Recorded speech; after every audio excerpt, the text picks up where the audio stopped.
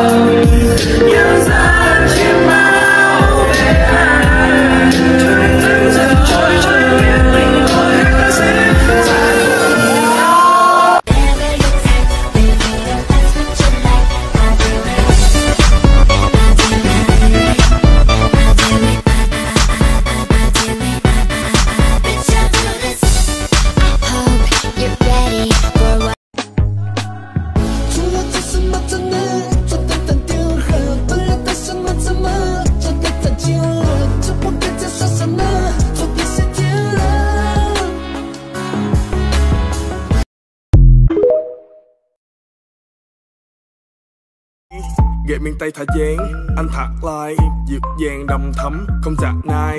Cũ lông mày đỉnh anh nói về chả sai. Bé giỏi văn không cho anh trả bài. Ghệ miền tây này in the club ghệ miền tây căng. Gặp em là anh tự đổ em như là cây xăng. Biết buổi tối làm em vui em thưởng thức. Thao túng nhau bằng thao tác vợ chồng rồi giữ sức bằng Bác à, cháu rất thích con gái qua bác. Từ lúc cháu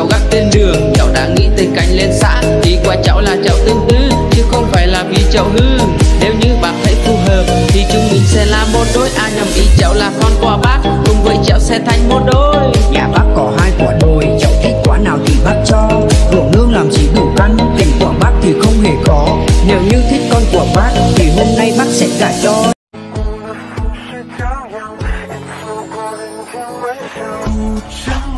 Trắng chào sông Rừng rú hai chớ sông hào Nì sao để sáng quang mong 把我照亮。像光芒，蓦然把我照亮。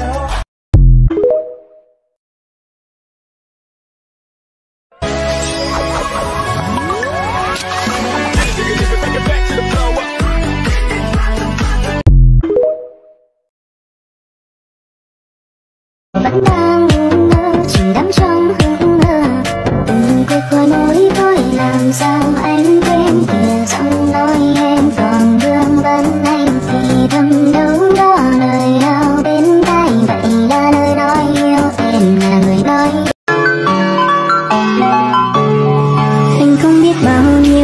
sao trên trời. Anh không biết cuộc đời mãi xa sao. Dù xa lao dù xa sao thì anh vẫn luôn có có một người luôn bên cạnh anh mãi thôi.